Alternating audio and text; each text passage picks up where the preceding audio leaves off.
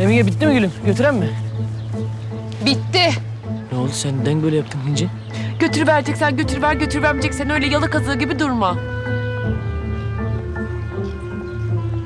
Ne biçim insanmışsın lan sen? He? Hiç vicdan yok mu lan sende? Hiç insaf yok mu lan? Ulan o kızın duygularını nasıl oynarsın lan sen? Emin duruyor lan sakin ol. Şş lan alemin kıyında. Ulan erkek adamın kitabında var mı be bir kızı severken başkasını sevmek var mı? Emin yapma kayıp oluyor. Ne oldu gülüm?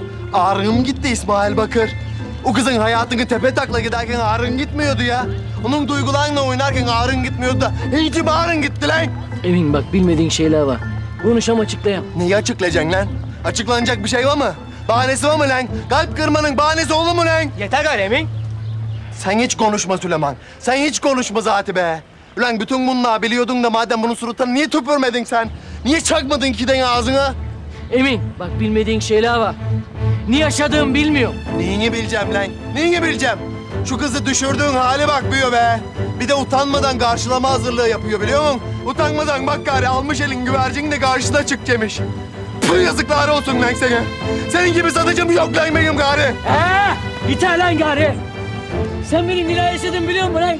Ne acılar çektiğimi biliyor musun lan sen benim? Her gün için parçalanıyor lan benim. Beni nasıl bir ateşe attığınızı biliyor musun lan?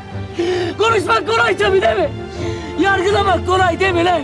İsmail'i kim biliyor lan? Kim biliyor lan İsmail'i? İsmail!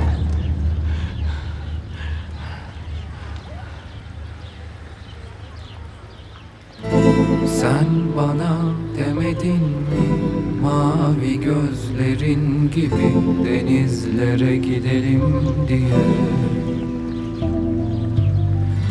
Sen beni sevmedin mi? Aşkımızın külleri yakamaz mı bizi